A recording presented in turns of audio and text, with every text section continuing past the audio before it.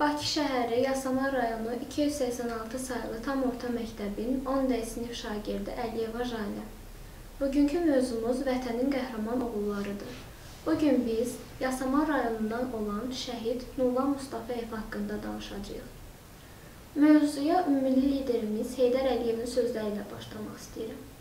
Heydər Əliyev demişdir ki, hamımızın ümumi vəzifəmiz xalqımızda vətənpərvərlik, vətən torpağına, millətə sədaqət, vətən uğrunda şəhidliyə hazır olmaq hisslərini formalaşdırmaq, inkişaf etdirmək və təbliğ etməkdir. Vətənpərvərlik qəhrəmanlığın əsasını qoyan amildir. Biz şanlı tariximizlə, əfsanəvi qəhrəmanlarımızla həmişə fəxr edirik. Cavanşir, Babək, Şah İsmail Xətayi, Səmədağa Mehmandarov, Əlağa Şıxlinski, Həzi Aslanov kimi igid və cəsur sərkərdələrimizin şəxsi nümunəsi bizə əsas verir deyək ki, Azərbaycan xalqı qəhrəman xalqdır və bu xalq öz vətənini göz bəbəyi kimi qorumağa hazır olan mətin gənclər getirmişdi. 44 gün davam edən bu savaş tariximizin parlaq səhifəsi olmaqla Azərbaycan xalqının iftixar və qürur mənbəyinə çevrildi. Dünya gördü ki, biz vətəni heç nəyə fəda etmirik, hər şeyi vətənə fəda edirik. İkinci Qarabağ müharibəsində xüsusi təyinatlı qüvvələrin əməyi danılmazdı. Onlar arasında şəhid olanlar da var ki, hər biri bizim üçün əzizdir. Bəli, haqq üçün can verənə ölüm əslində nemətdir. O neməti dadanlardan biri də şəhid Nurlandır ki, indi o da ölərək ölümsüzləşənlərdəndir.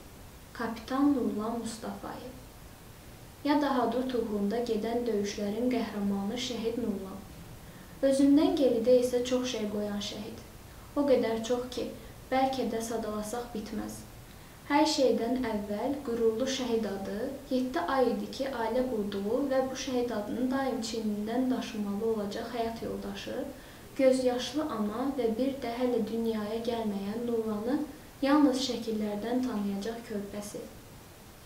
Nurlan Mustafayev 1990-cı il iyulun 22-sində Hamlet və Rəhlə Mustafayevlərin ailəsində anadan olub. 1997-2005-ci illərdə Nəsimi rayonunun Salih adına 159 nömrəli tam orta məktəbində təhsil alıb. Nurlanın özü də uşaq vaxtı atasını itirib. Anası Rəhlə xanım deyir ki, öz təkidi ilə 2005-ci ildə Naxçıvanski adına hərbi məktəbə yollanır. Daha sonra təhsilini Heydər Əliyev adına Ali Hərbi Məktəbdə davam etdirir və elə bu yolda onun taleyinin tamamilə dəyişir. 2010-2013-cü illərdə isə Almaniyada hərbi liseydə muhtatıcı ixtisası üzrə ali hərbi təhsil alıb. Almaniyada təhsilini bitirdikdən sonra Nurlan Azərbaycana dönərək xüsusi təyinatlı qüvvələrin zabiti olur. Nurlan Rumıniya, Gürcüstan kimi ölkələrdə qardaş Türkiyədə keçirilən EFES 2018 hərbi təlimlərində iştirak edir. Kəşfiyyatçı kapitan 4 xarici dil bilirdi. Kapitanımız 2020-ci il mart böyük arzularla ailə qurur. Düzdür, bəlkə də bu gün bir çox arzuları yarımçıq qalsa da, unutmaq olmaz ki, o xüsusi təyinatlı idi və onun ən böyük arzusu da elə vətənlə bağlı idi. Azərbaycan ordusunun xüsusi təyinatlı qüvvələrinin kapitanı olan Nurlan Mustafayev 2020-ci il sentyabrın 27-sində Azərbaycan Silahlı Qüvvələri tərəfindən Ermənistanın işğalı altında olan ərazilərin azad edilməsi üçün başlanan Vətən müharibəsi zamanı Murov dağının, Füzulinin, Cəbrayılın, Xocavəndin və Hardutun azadlığı uğrunda gedən döyüşlərdə savaşıb. Nurlan Mustafayev oktyabrın 12-sində Hadut döyüşləri zamanı şəhid olub. İkinci Fəxri Xiyabanda dəfn olunub. Hərbi xidmətinə görə, 3-cü dərəcəli qüsursuz xidmətinə görə Azərbaycan Silahlı Qüvvələrinin 95 illiyi və 100 illiyi medalları ilə təltif olunmuşdur.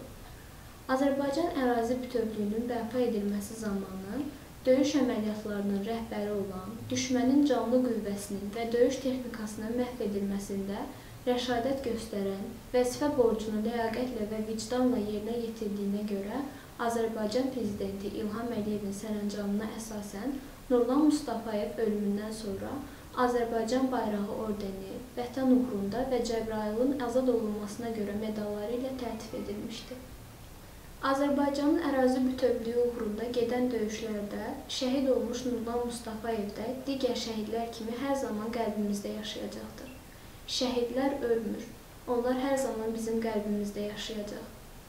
Allah bütün şəhidlərimizə rəhmət eləsin.